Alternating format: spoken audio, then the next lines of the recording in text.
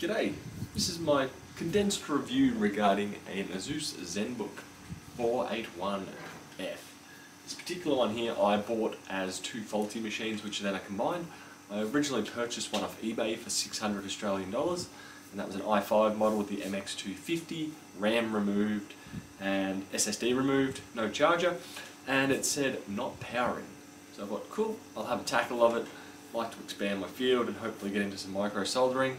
I get it to find that it has a liquid damaged mainboard, which was not originally mentioned by the seller. It was sold as faulty, but there's a fairly large difference between faulty and liquid damaged. There's a difference between a machine just powering off and turning off versus spilling a drink on it. So that was a tad disappointing. And then I decided, okay, to recoup that money, I'll part it out, sell the screen assembly, sell the fan, sell the battery, sell the the touchpad and the secondary display which is built into the keyboard which if you look here you'll see it is a dual screen machine. And with that I, as I was selling off the parts I found that ah, there's actually someone selling one of these with the broken lower keyboard and I had yet to sell the, lo uh, the lower screen and keyboard assembly.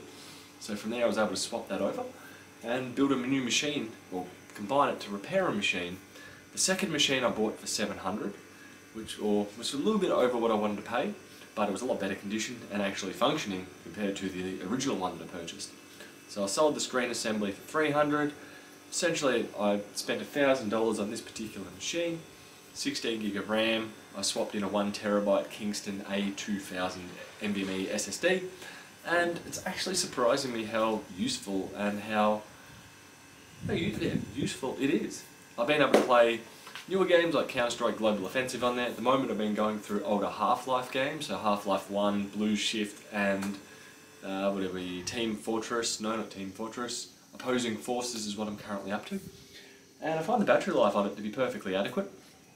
Uh, turn it on, use it for a bit, turn it off, turn it on again later, use it for a bit, turn it off. Battery life's been perfectly fine. I found that the secondary screen I've been using for simple stuff like arranging video files for video editing or doing invoicing where I can load up or entering accounts. So I could load up everything that I've need to enter that I've purchased on AliExpress or something like that, put it on the lower screen, load up the account software at the top and just go through and enter everything that I need. Just having that simple secondary screen is quite useful. I do wish the top half of it was a touch screen also, since just the bottom of it is, or the bottom screen is a touch panel. But that's something that can be managed, it's all fine.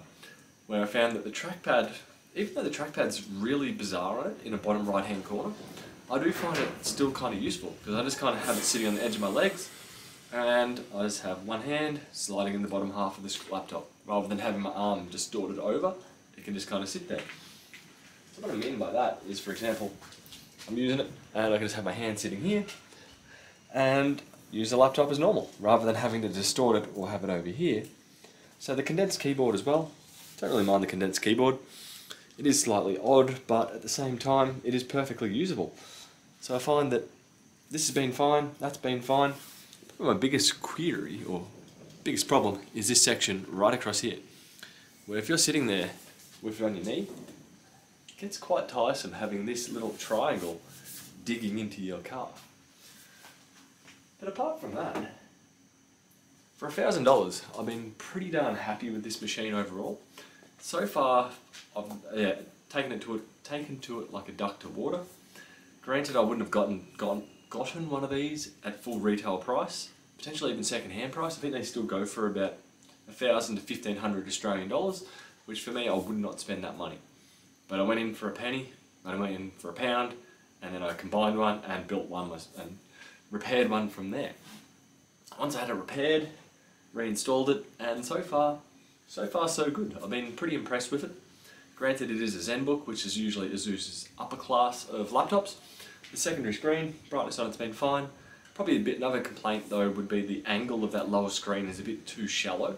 I find that it, it feels like it's barely sitting up. If it was tilted up a bit higher, that'd be much better. I do think on newer versions the screen itself actually lifts up when you open the laptop. So that does, does resolve that issue. On this current one it's still there. But as I said, I do like that secondary screen, especially for accounts and video editing. Overall, using Intel QuickSync, uh, video rendering time has been quite quite quick, quite snappy.